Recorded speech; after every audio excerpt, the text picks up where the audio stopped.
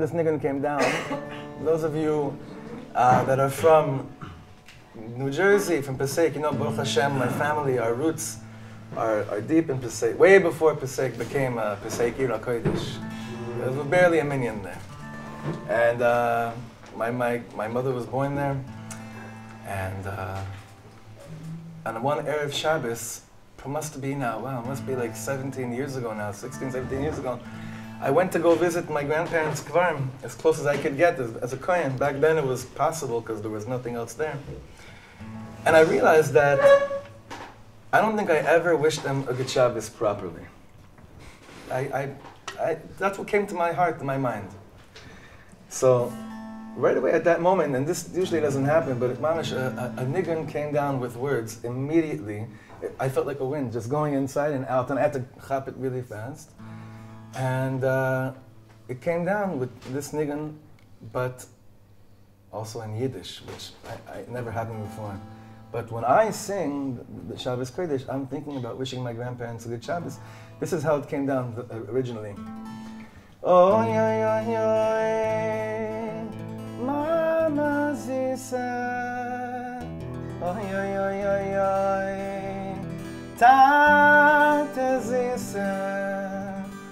Oh, yeah, yeah, yeah, yeah. Alle Yidden. Oh, yeah. Good Shabbos, good Shabbos. Dear mother, dear father, sweet mother, sweet father, all you, everyone, good Shabbos, good Shabbos.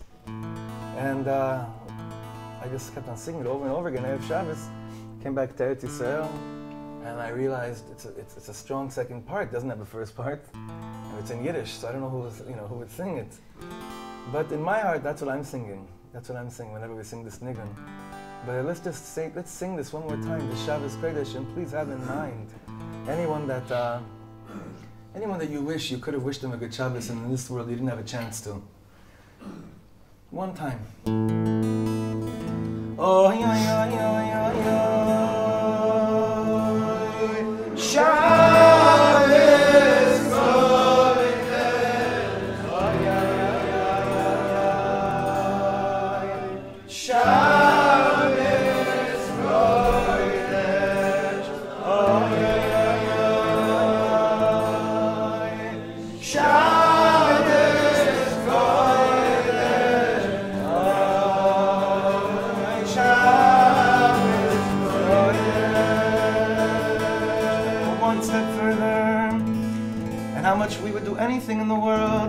to Shabbos to our beautiful children. Those of us that have children, those of us that soon, Be'ezer Hashem, in the right time, will have healthy, beautiful children.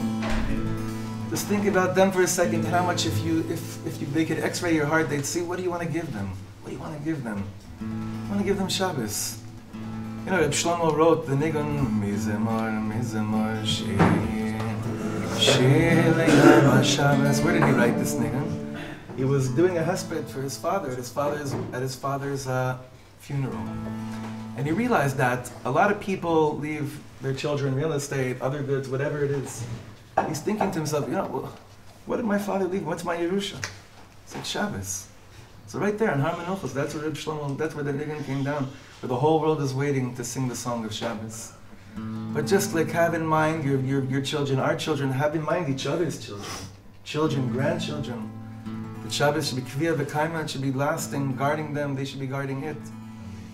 Oh, yeah, yeah, yeah. Shabbos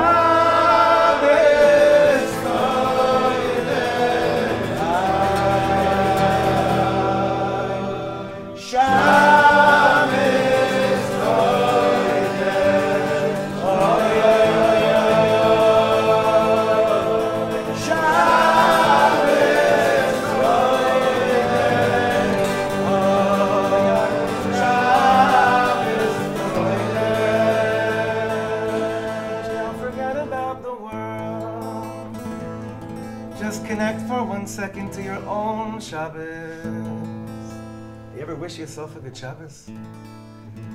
Just wish yourselves a real, real, real strong kesher, a connection to this te'imah of what's going to be when Mashiach comes, Yom Shekulo Shabbat. How much we long for Shabbos, and Shabbos comes and we're always like, oh, I wish, I wish it could have been like this. Or ask yourself, ask yourself, what do I long for most? I long for most to be in the moment. I long the most when Shabbos comes, Shani Shama, I'm there, I'm there. So it starts right now, this second. So just wish yourselves now a strong one. Oh, yo, yo, yo.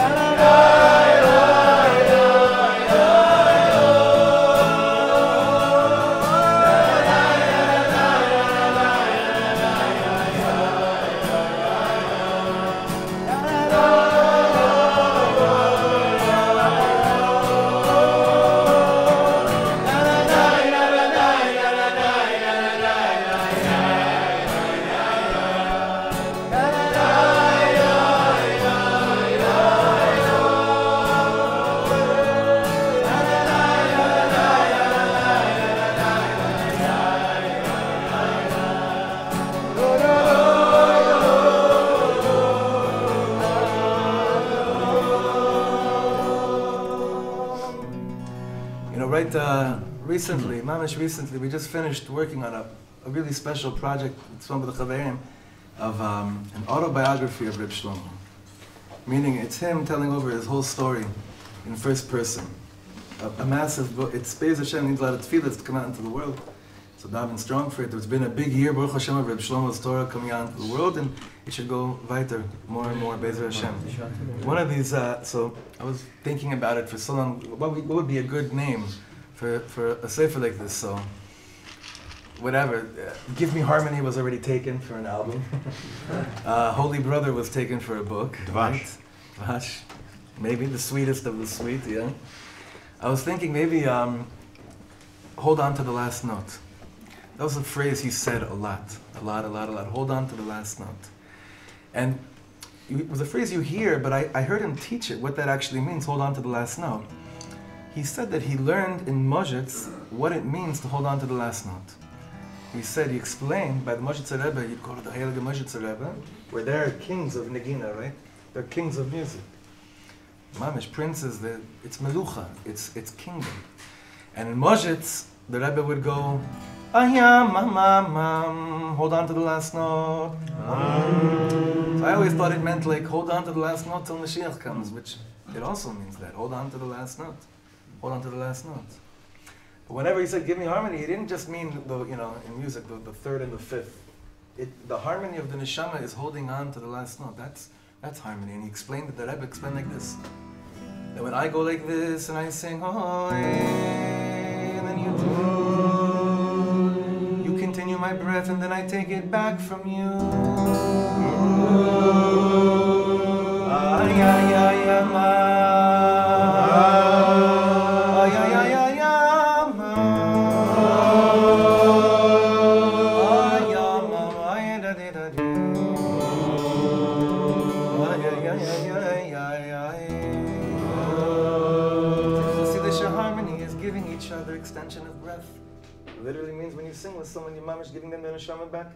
keeping their life, their lifeline, a little bit, little bit longer.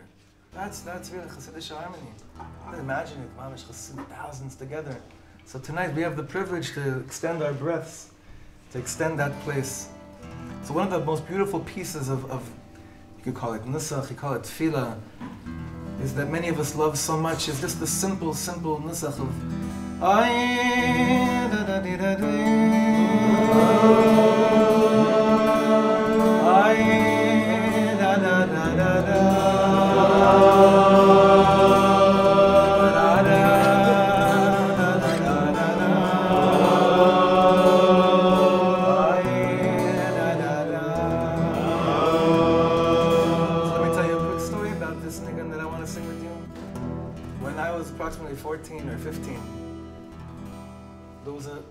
person came, some person with a big yellow yarmulke came to our yeshiva in Ra'anana, and uh, it was late at night. It was a Thursday night, and this this this guy came with his guitar a big yellow yarmulke, and we went down to the Chadar Ochel of our high school, and in the Chadar Ochel of high school, we're all sitting around. Barely any of us saw, you know, guys with long beards playing guitar. It wasn't the kind of yeshiva until then. But then that changed, and the rest of the world changed after that. And um, this is the niggin. It was, it was you. It was Yehuda. You came that fr- that you know, Thursday night, right after Reb Shlomo died. And uh, most of us didn't ever hear yet the niggin Yehi Shalom. No, no one. Ever, we didn't know it then. And um, we sang it for about 45 minutes. It was the only niggin. It was a Seis Mitzvah. I remember Yom Kippur. A few of our chaver, we walked to this Beit Avot. I think it's called Mishan in Ra'anana. It's, a, it's an old uh, old age home, and uh, we took us an hour to get there, hour to get back, and we just sang this over and over again. So we didn't even talk. Fourteen-year-old kids in Ra'anana, not you know singing nigunim. It wasn't. It wasn't our bag till that till then. It was the game changer. That nigun was the game changer. A few years later, I found a recording of the morning after Reb Shlomo wrote this nigun, and it was in the early 80, 80 or 81 in Ojai. Those of you that know Ojai in California. And Reb Shlomo said that the night before, he couldn't sleep, and he realized that when he davens for peace, it's the only thing in the world that when I daven for it, I can't daven for it to come on an individual or just on me. Everything else I can daven On an individual level, refuah, you need refuah. Parnasa, that person needs parnasa. Simchat HaChaim, that person needs a little more simcha. That's yichidim. Shalom, in its essence, is the one thing that's aleinu ve'al kol Yisrael. So I want to share with you two gilgulim of this nigun before we know it the way that we sing it today. Because when he wrote this nigun, it didn't sound like the way we sing it. And the words were also a little bit different. But with many nigunim, that's how it, it takes a few, takes a little bit of time till it comes out the way that we eventually know it. So this is when he wrote it, this is what the nigun sounded like.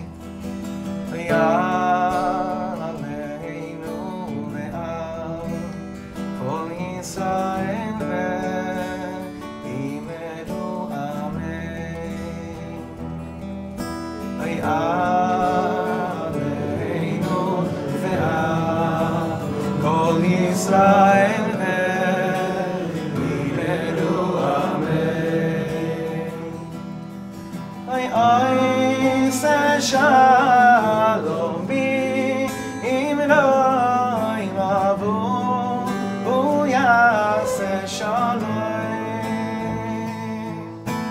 אוי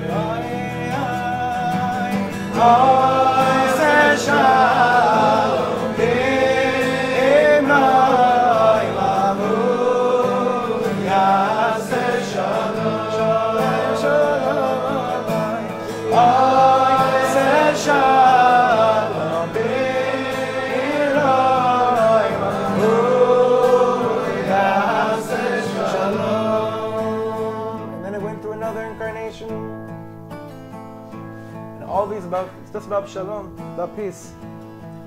Leimanovu al heorim ra,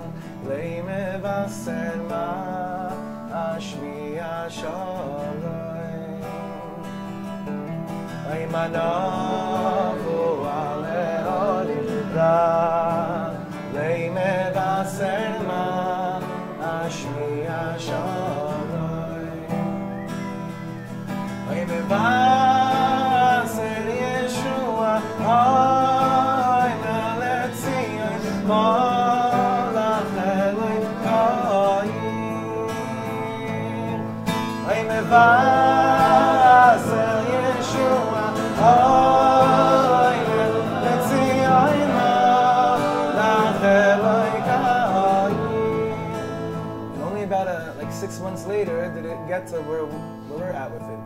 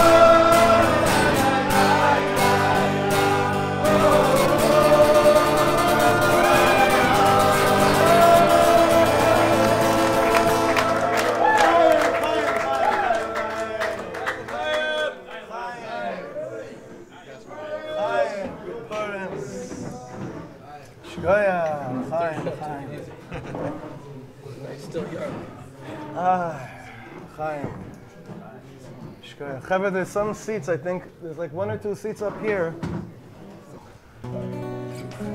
Yeah. I want to say L'chaim to someone really special, really, really special.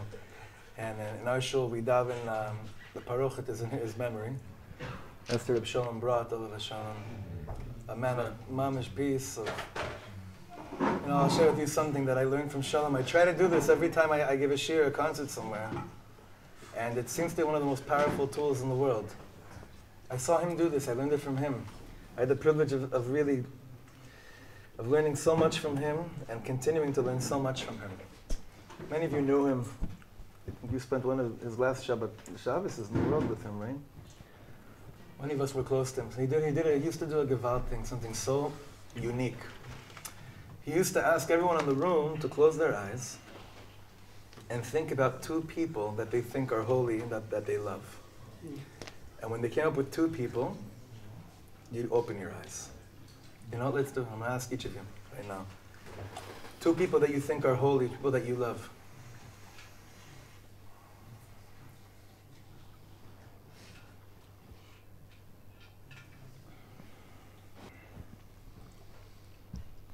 Okay, so, You- so for some people this could take like two weeks. for some people this could take like you know two seconds. Okay. Now there's no right or wrong answer. Okay. There's no right or wrong answer. How many people in this room thought of someone in this room? Raise your hand. So that's about 12% of the room, 15% of the room, which is actually, which is actually a very high percentage. It's actually a very high percentage. Usually, usually the numbers are, are, are very, very low. Usually the numbers are shockingly low. And Reb Shalom said, he used to say, he's like, you don't understand. He said, you don't understand. When we think with words about love, holiness, the illness of our generation is that those are things that are, it exists, but it's there. It's there, it's there. It's too deep for me to fathom that it's actually right here. You know, the Torah, Reb Shlomo would say, the Torah doesn't ask you to, to love the whole world. You know, it's a beautiful ideal. It's a beautiful sheifa, it's a beautiful aspiration. Reb Shlomo says, you know, it says, V'ahavta l'recha kamocha. V'ahavta l'recha kamocha. So, l'recha kamocha, in the, English, like the you know, King James translation, what do they say? They say, love thy Neighbor. neighbor. Now, the truth is, it's like one of the, one of the only times where you have to think about it a bit more. I grew up living on 520 North Highland Avenue. Okay, does that mean that that Hashem Yisbarach commanded me that I He just wants me to love whoever lived on 518 and 522? And the answer is yes. The Ribbono is not telling you you have to love the whole world. It's a beautiful ideal, but where do you start? Shlomo said you start with whoever is your neighbor at any given second. That's how he lived. And there's so many people in this room that mamish embody that midah, that I've learned so much from. But we have to infuse the consciousness and the awareness that when we talk about love and we talk about holiness, it's right, it's, it's right there in front of you. What does David Sachs always say? To cross from one side of the street to the other, you have to swim in an ocean of elokut, of godliness. But that's true about love also. It's right there. It's if we would just realize that that's all the Torah wants of me. You want to be frum? I mean, mamish frum. Who's your neighbor right now? Go for it. Go for it. From it out. Go for it. Bemet. It's the most terrifying thing in the world. It's people are terrified from it. So I saw Shalom do this many, many times. Let's talk about the kind of love we're all we're all longing for. Clever, don't hold back for this one, please. da da da da da da da da da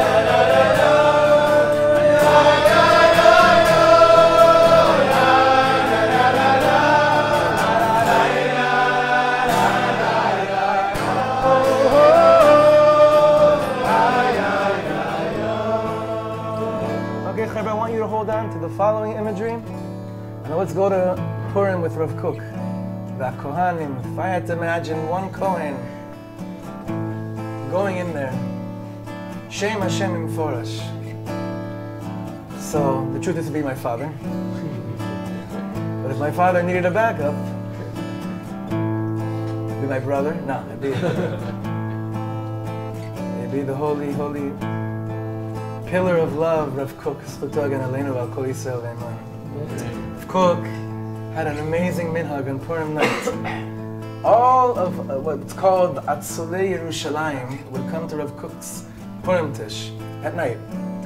He had uh, the Rav Nazir, Rav Charlap sitting next to him on his sides.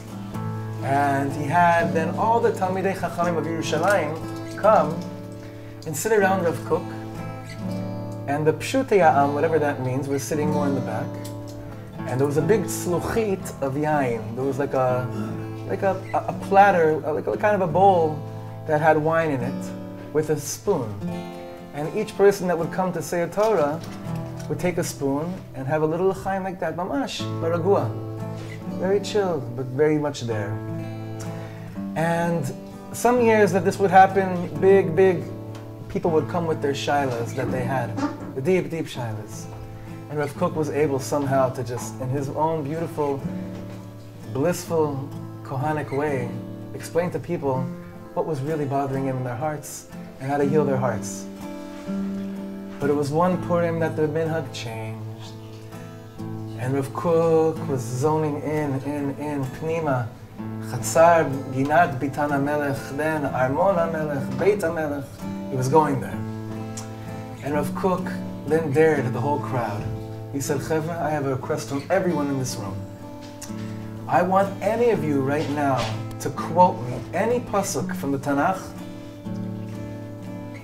any pasuk from Rishonim or Achronim, from the Mishnah, from the Gemara, from the Zohar Kodesh, from anything in our liturgy, any pasuk, and I'm going to prove to you that there's a chiyuv d'oraisa from the pasuk you chose to love Am Yisrael.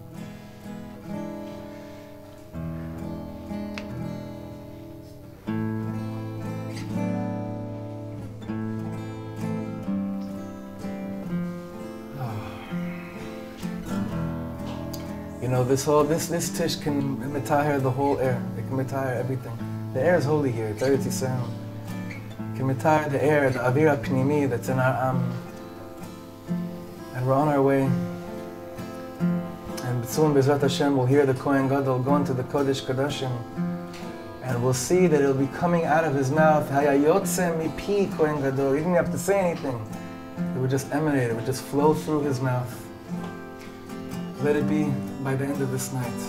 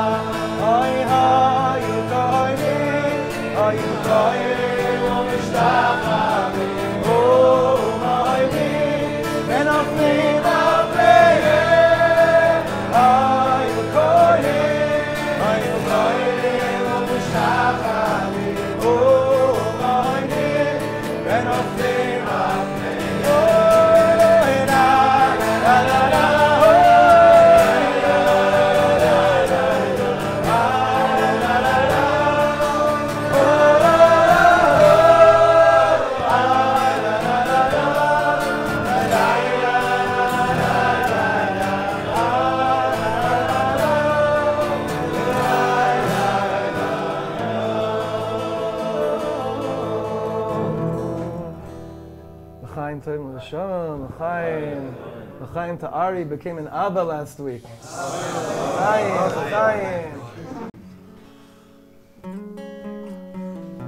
I realize that I have- had the privilege of being with many of you and connecting with many of you by the Nachal Novea Mekor Chochma Rosh Bnei Yisrael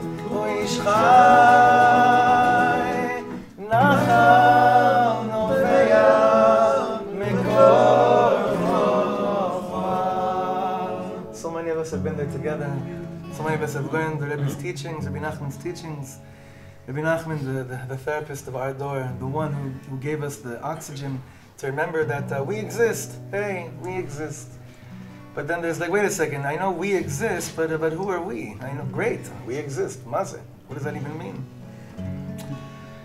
But let's just connect for a second to the fire of Rabbi Noson, because everyone knows that. The Rebbe would give over the most incredible, incredible Torahs on Friday nights passionate, passionate Torahs. And many people were just so tired it was for hours. But those of you that were privileged to be there by Breslov, when you walk up on that mountain and you see the Bug River, it's the same river Reb Nachman, Reb Noson were toveling. And you could just see it like, like it's happening right now. One Friday night. Some of us more than others. Binyamin actually toveled in that river. So one Friday night, Reb Noson heard such words of fire from the Rebbe in Breslov, and he couldn't go shluf. He couldn't go to sleep. So Reb Noson traveled through Breslov that night, crying. Yes, it was Shabbos, but it wasn't tears of pain. It was tears coming from a bakashot me'en kamoim. Request from none other.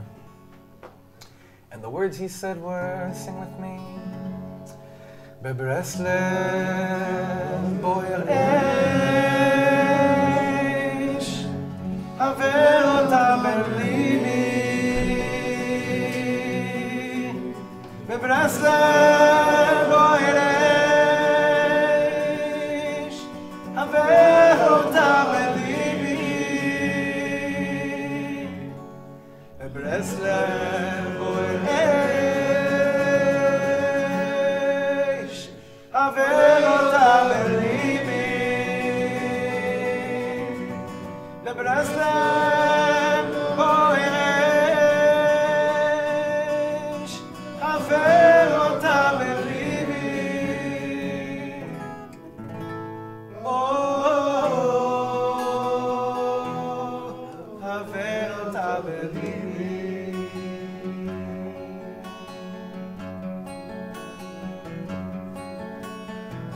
that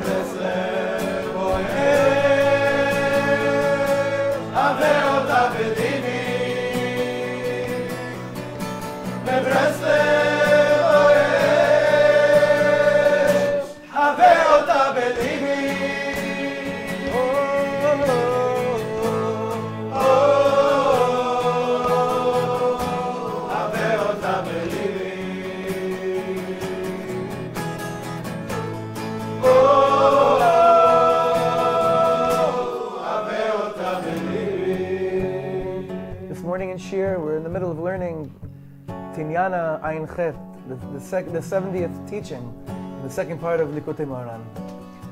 It's a Torah that Rabbi Nachman gave over on his last Shabbos Nachmu in the world. Summer of 1810, where the Hasidim, he was already in Uman. He just moved into a new house.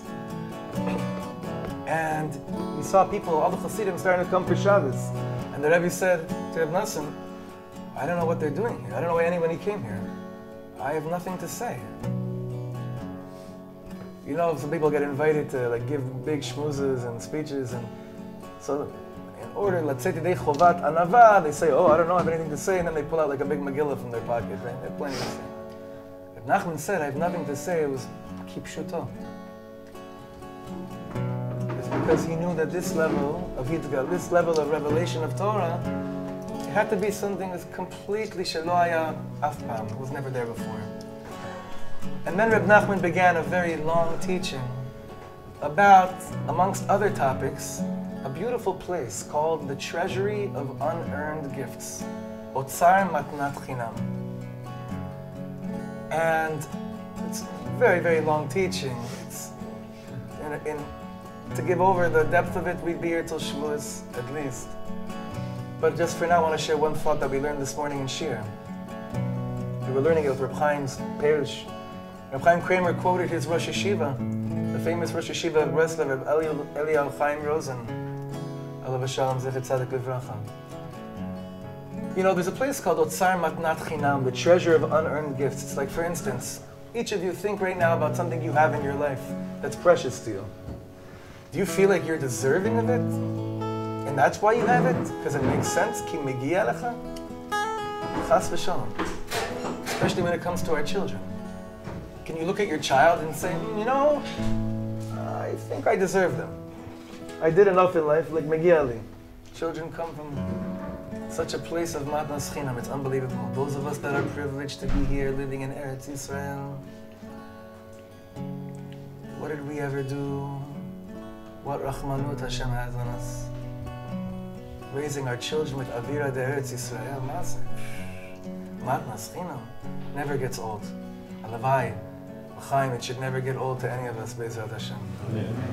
So Reb Nachman continues and says there that sometimes there's anashim pshutim, the tzaddik, he can't, in the moment, be engaged in deep Torah study, delving into the mystical side of things.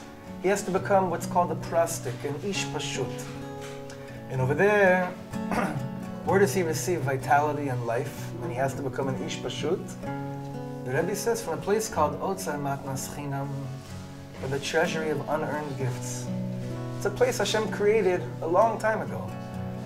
It was a place that the life world itself was receiving its sustenance before it received the Torah.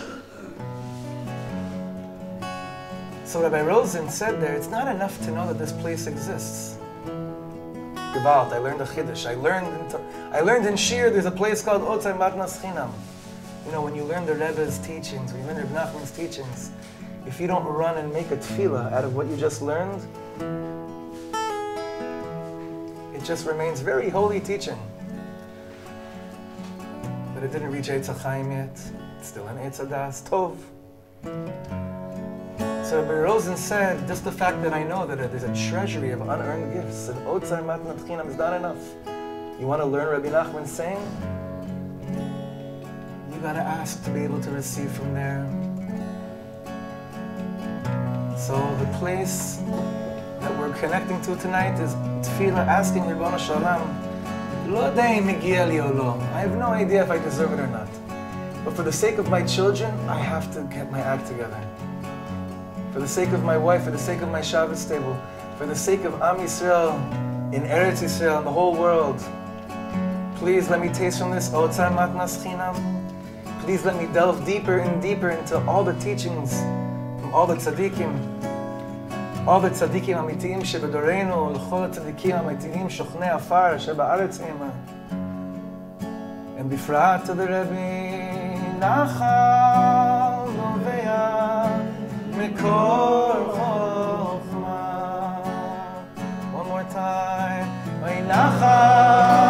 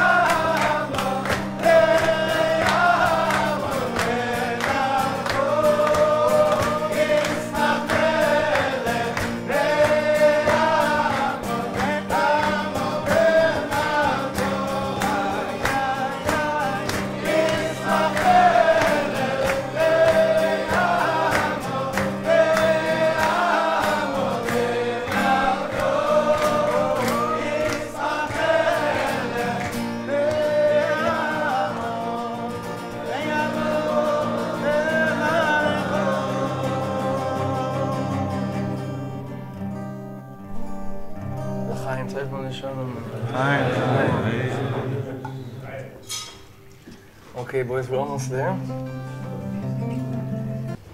But there's a, this last sugya that Mashiach is, is, is, is waiting for us to crack. And that's the sugya called Mi Ani. That's the sugya called Who Am I? I had one of the most depressing gigs of my life. A few years ago, without mentioning names, towns, or cities, or people. I have to be very, yeah. No, no one here was there. And um, I was one of those gigs, it's like the remote control gigs, you know? It's, it's like you said, people in the crowd, they're like, you came, you know, you put your neshama on display, and they're like deciding whether they like what you're doing with your neshama or not by either talking to someone going on their phone or waiting for, no, I did it I, like one of those kind of, you know, nights. And uh, it was so, it was, it was, it was depressing. It was very depressing. So I realized, you know, no one, I don't really think anyone here is listening. So I'm gonna, I'm gonna sing myself a nigun right now. And this nigun came down. The following nigun. It didn't have words. A year or two ago, one of our trips to the Ukraine, which you all invited to join us. Uh, Bezrat Hashem, we're going to a lot of new places this year, but one of the trips to the Ukraine, we were on the bus from, from Mezhibuzh to, to Berdichev, or from Berdichev to Hadich, I don't remember right now. And uh, these were the words came down, Mamish, Ashpa of these tzaddikim. And it's a song that has six questions. And I'm so happy that I was so lonely that night on stage that forced me to ask myself really these questions. And if you know, please join me. Six questions that we, we can't get by without asking them in our life. It feels like this is the last sugya before the great day is coming that, uh, that we have to deal with.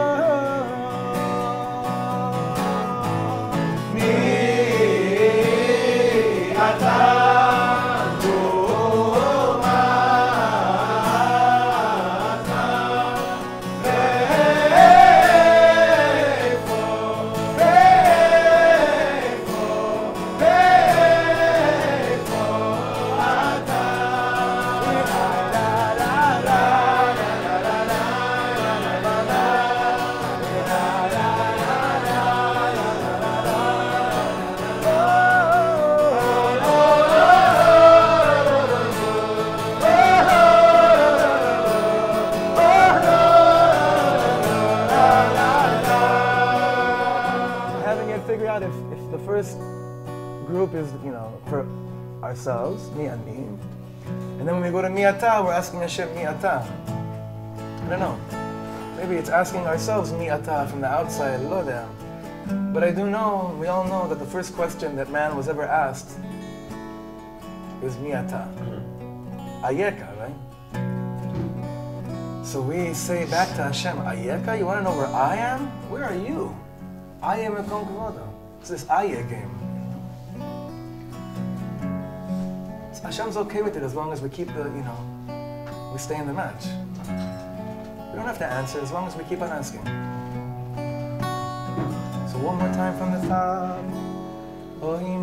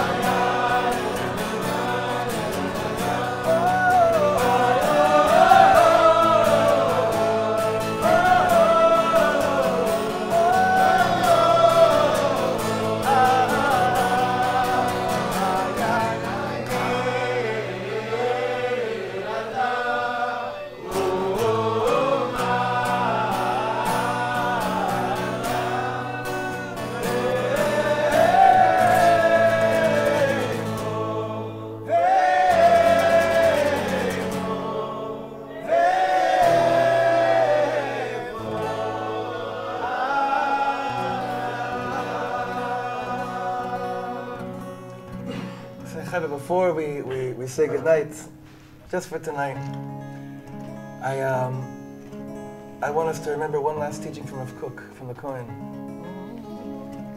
Rav Kook says, it's great after you do nights that are filled with Gewaldige wiping out a Amalek. It's amazing. It's beautiful. This is the parsha right now, to wipe it out, to get rid of it, to make sure you suppress and you banish out darkness. Shaila is, what are you filling it with? Rav Kook says, how do you fulfill the mitzvah of Mechiyat Amalek, of wiping it out? This is an amazing Torah. He says that in the Gemara, in the in, in Hilchos Shabbos, the halacha of mochek, right? One of the 39 halachot of mochek is mochek al menat lichtov. Right? How you mamish transgressing when you erase something on Shabbos in order to then write something. So Rav Kook says an amazing thing. The halacha says, Mechika be'alma is nothing. It's a chabala. It's not, a, it's not over the malacha. If you just erase something, but not to fill it in with something, eh, you, didn't, you weren't over the malacha of mochek. Didn't, you didn't do the greatest thing. It's a transgression, but a much lower level. You transgress when you erase in order to write. So if that's true about going over the halacha of mochek, Rav Kook says, you know how you wipe out Amalek? When you have kavana, ha-mochek, lichtov. It's not just, okay, I'm to get rid of evil. Shaila is, what am I doing with Kedusha? So in Purim, the whole energy isn't just, you know, it's Kimu, the Kiblu, because it wasn't enough that Haman's hung. You think it'd be enough right now if our Oivim would all be hung Be'ezrat Hashem by the end of tonight? Think, you think that'd be enough? That, that, that, oh, then it would all be good. Ribbono Shel Olam is looking at us and saying, who wants to mamish wipe out Amalek on the level of Rav Kook's Hamochek Amenat Lichtov? Hashem should bless us to fill our kedim that are now, Bezrat Hashem, being emptied. When we empty out the, the energy of Amalek, of Sufik, of hatred, of, of, of the, the stench from the Bechirot, and all these things that are so unimportant on the neshama level, unimportant. Hashem should oh, give us enough confidence in ourselves there's no more Asher Korcha Baderech. We're done with you. You can write down right now. Right now, we're extending the Chasima. Mar Chasima Tova, everyone. You're extending it. You can fill in in Hamoha. Uh, Amochek Almanat Lichtov. What are you writing in? Sky's the limit. Not even that. Beyond the sky, table set, everything is right there. What are you signing? What are you signing? So tonight we're signing on Dibuk Chaverim right now we're signing on getting closer to each other no matter what, to be better and better friends to each other. Well, there's nothing left. The Shlomo said the avoda before the six million was a seilach harav. After the six million, the avoda was this next part of the Mishnah. That's what the avoda is right now. We're doing it. We're doing it, and we should do it even stronger.